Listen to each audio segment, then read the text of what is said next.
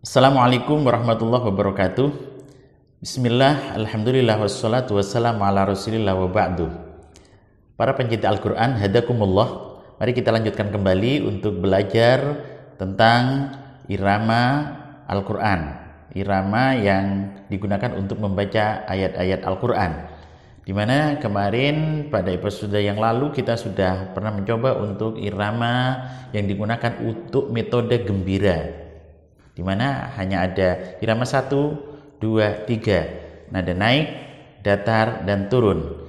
Kali ini kita coba akan diterapkan kepada eh, surat pendek yaitu surat Al-Kautsar di mana kita perhatikan betul bahwa saya akan menggunakan irama metode gembira 1 2 3. Kemudian berikutnya akan saya coba ditambah eh, variasi irama salah satunya adalah irama kurdi.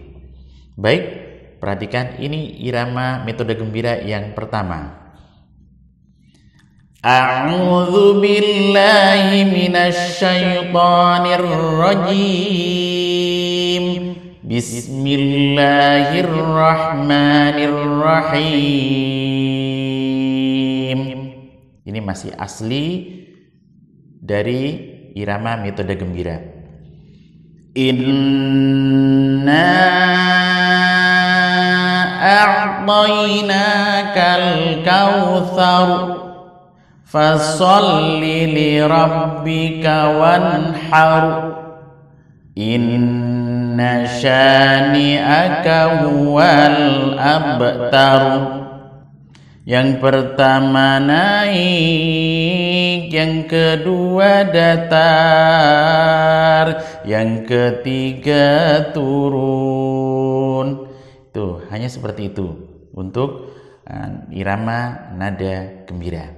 Ya, berikut ini akan coba saya terapkan menggunakan tambahan variasi kurdi.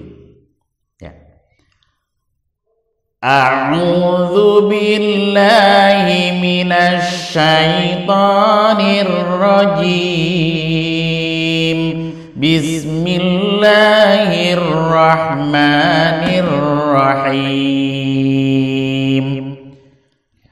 Yang ditambahi nada kurdi hanya nanti di irama atau nada yang ketiga. Ya. Jadi nada naik, datar, kemudian yang ketiga yang ada kurdinya. Inna a'tainakal kautsar masih persis seperti nada metode gembira fasalli li rabbika wanhar. Nah ini akan saya tambahin. Inna syani'aka huwal abtar. Ya pencinta Al-Qur'an di situ tambahannya untuk memperindah. Sekali lagi saya utuh bacakan surat Al-Kautsar yang ada nada kurdinya.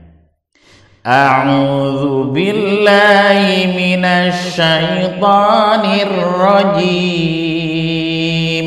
Bismillahirrahmanirrahim. Inna